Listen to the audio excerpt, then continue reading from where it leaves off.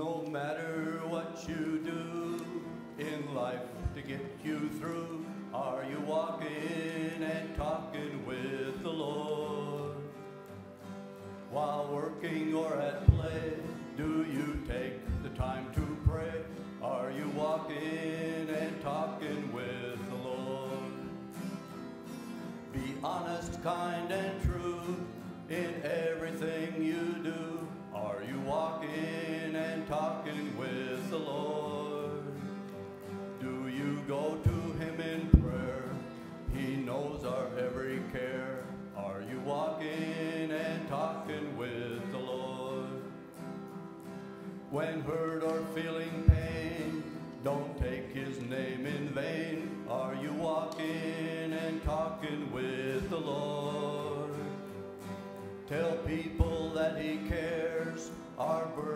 He will share. Are you walking and talking with the Lord? Be honest, kind, and true in everything you do. Are you walking and talking with the Lord? Do you go to Him in prayer? He knows our every care. Are you walking and talking with the Lord? The road of life is long if you travel it alone. Are you walking and talking with the Lord? He will take the steps with you if you only ask Him to. Are you walking and talking with the Lord? Be honest, kind, and true in everything you do. Are you walking and talking with the Lord? Do you go to Him in prayer? He knows our every care. Are you walking and talking with the Lord? Are you walking and talking with the Lord?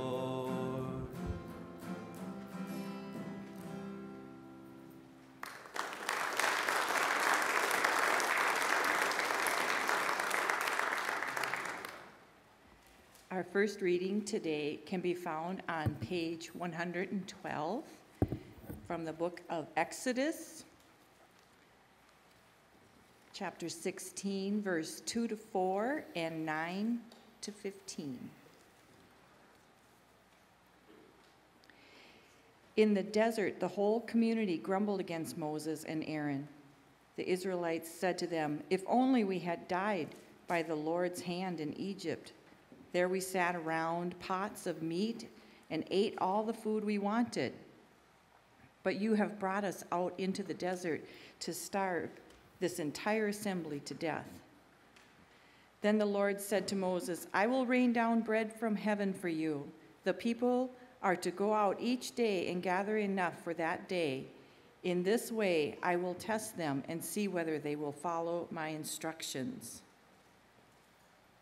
Then Moses told Aaron, Say to the entire Israelite community, Come before the Lord, for he has heard your grumbling.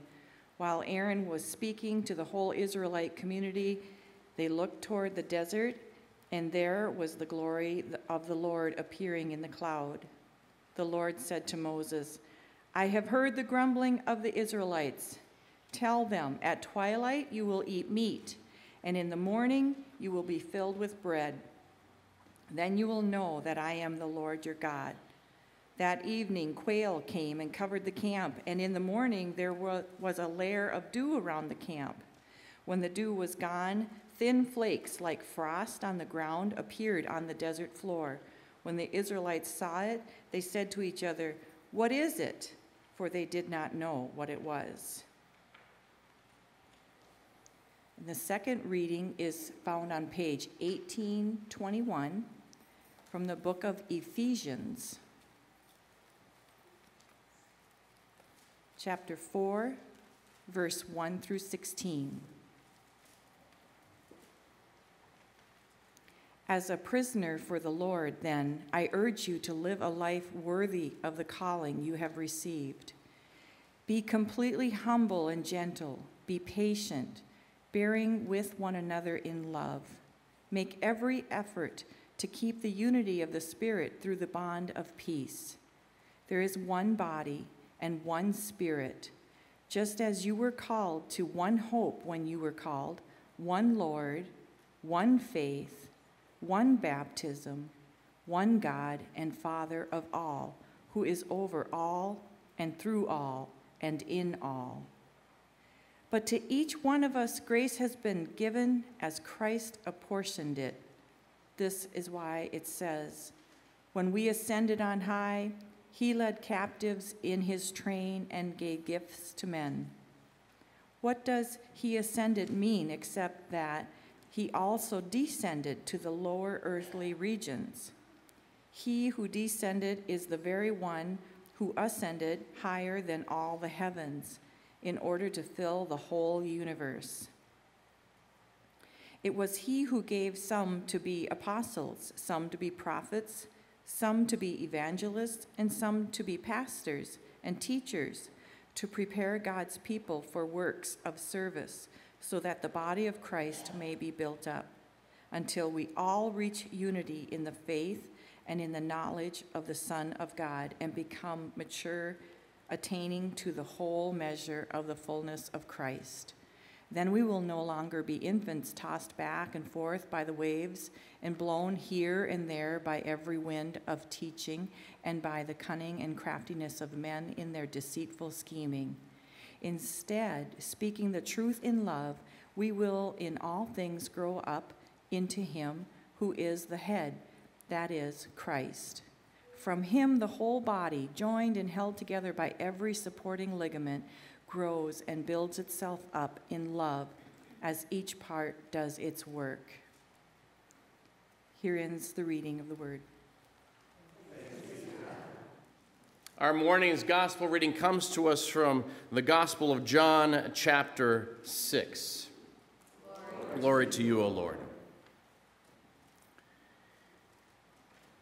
Once the crowd realized that neither Jesus nor his disciples were there, they got into the boats and went to Capernaum in search of Jesus. And when they found him on the other side of the lake, they asked him, Rabbi, when did you get here? And Jesus answered, I tell you the truth, you were looking for me not because we, you saw not because you saw miraculous signs, but because you ate the loaves and had your fill. Do not work for food that spoils, but for food that endures to eternal life, which the Son of Man will give you. On him, God the Father has placed his seal of approval. And then they asked him, What must we do to do the works God requires? And Jesus answered, The work of God is this to believe in the one he, he has sent. And so they asked him, What miraculous sign will you give that we may see and believe you? What will you do? Our forefathers ate the manna in the desert, as it is written, He gave them bread from heaven to eat. And Jesus said to them, I tell you the truth, it is not Moses who has given you the bread from heaven, but it is my Father who gives you the true bread from heaven. For the bread of God is he who comes down from heaven and gives life to the world. Sir, they said, from now on, give us this bread. Then Jesus declared, I am the bread of life. He who comes to me will never go hungry, and he who believes in me will never be thirsty. This is the gospel of the Lord. Praise to you, O Christ. And please be seated.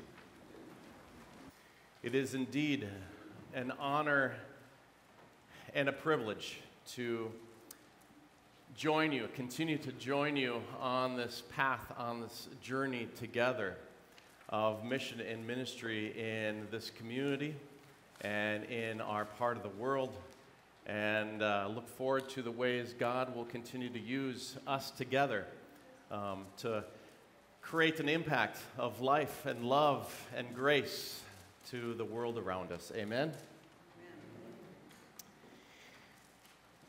Our Old Testament reading. Our Old Testament, this reading this morning, is, is a part of the story of Exodus, of the Exodus. The, this famous story, this infamous story, it's, it's probably one of the most important stories of Israel's history and of the Hebrew scriptures, the Old Testament in the Bible. and it focuses on the newly freed slaves.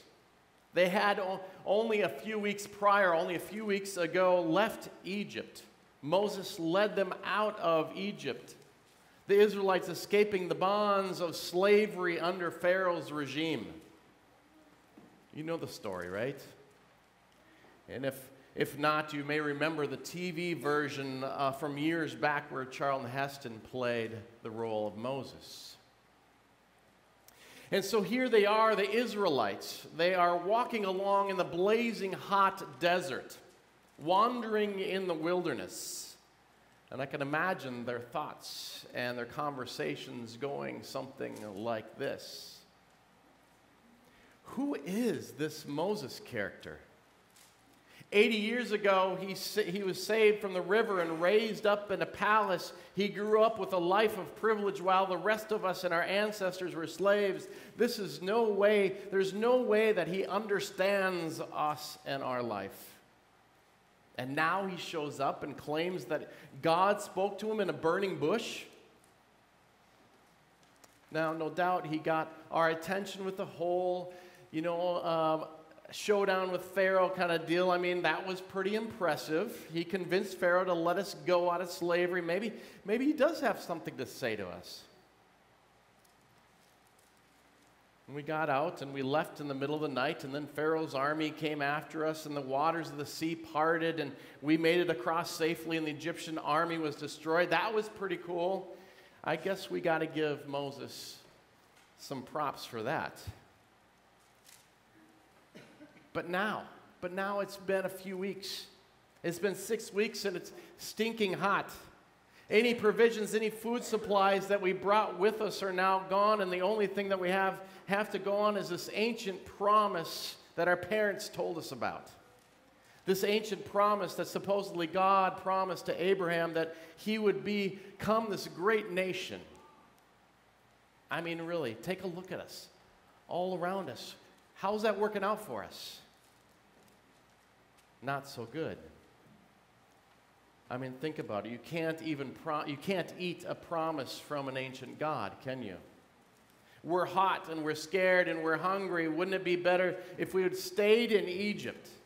Even if we were brutally oppressed under Pharaoh working our tails off, at least we had food to eat while we were there. The Israelites were complainers. But can you blame them? They probably felt as if their life was out of control or, or was just getting plain old monotonous on their journey in the wilderness. They, they felt God was with them right after they left Egypt, bringing them out of that oppressive place, but now they couldn't seem to find meaning on their journey anymore. My friends, have you ever felt like this in your own life? Maybe there was a time in your life when you felt that God was real, that things were going, that were things were really happening, that that your faith seems strong and solid, and that God seems to be very, really present and active in your life, and you thought that nothing could ever shake it. But maybe now you feel you're, like you're wandering in the wilderness of life that God doesn't seem to be anywhere to be found, and there doesn't seem to be any meaning to anything. Going through the motions of what you once thought was the right path, but now you're second guessing it all, and it's turning into this lifeless journey with no meaning to it at all.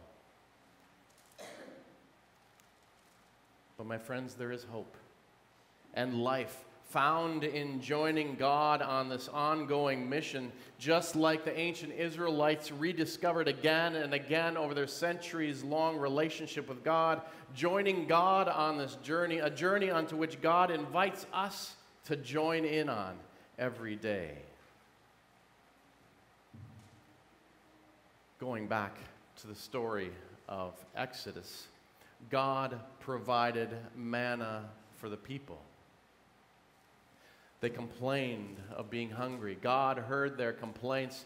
God provided them manna from heaven, manna that came down and was available to them like dew on the grass. Every morning, every day, there, every morning there would be manna on the ground waiting for them to pick it up and use for the day. Manna. The literal meaning, get this, the literal meaning of the word manna is what is it? Every day they ate, what is it? You can hear it, can't you? You can hear it, can't you? When the kids looked at their plates, another meal in which mom tried her best to work it into something tasty, and they probably stared at their plates and asked, What is it? And then mom's only, only response, of course, would be, Exactly, yes. What is it? Every day they ate it, this manna from heaven. In this story, we are reminded, you and I are reminded, that God's people were nurtured with the question, What is it? And we can be nurtured by it as well. We can ask a similar question What is it that you are doing, Jesus, in our lives today?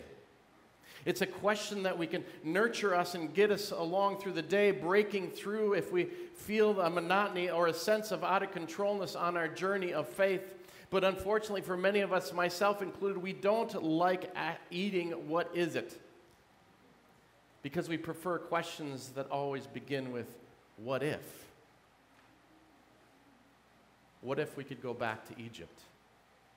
What if we could get out of this wilderness?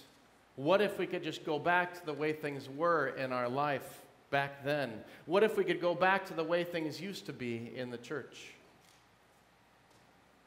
The problem is that what if questions only really refer to a longing for the way life we had in the past, or even at times a longing for some other way of life in the future. But God's gift of manna, like in the Exodus story, could only be found in the present, one day at a time.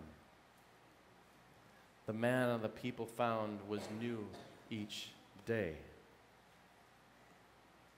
My friends, our daily manna can be found in this daily renewed question What is it that you are doing, Jesus?